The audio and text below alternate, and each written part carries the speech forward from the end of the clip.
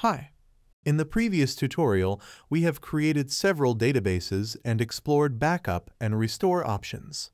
In this tutorial, we configure database monitoring using PMM. Let's open a database page, for example, the first MySQL.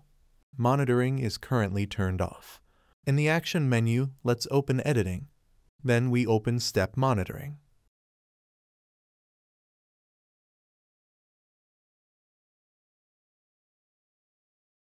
We are notified that we cannot enable monitoring because monitoring endpoints have not been added.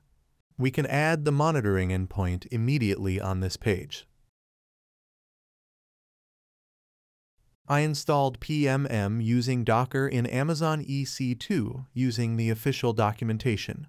We also have a tutorial on how to install PMM on Kubernetes using Helm you may notice that I don't have any databases connected to the monitoring right now. We need the URL of our PMM. You need to enter a name and select namespaces. Use the PMM user to connect. We successfully added a monitoring endpoint.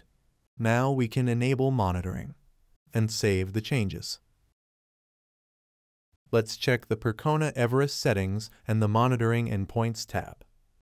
We can see the PMM we just added, and we can also add another one or edit an existing one. When monitoring is enabled, the database is reinitialized. While that's happening, let's enable monitoring on other databases.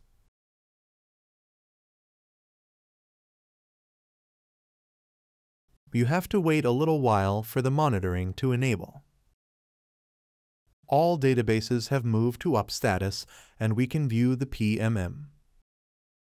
We can see that MySQL, MongoDB, and PostgreSQL are now being monitored.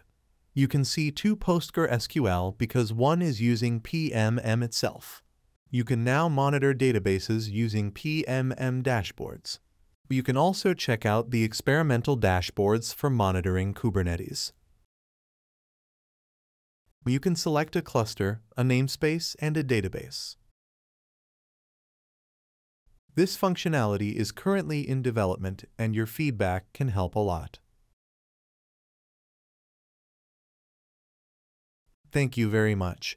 See you at the next tutorial.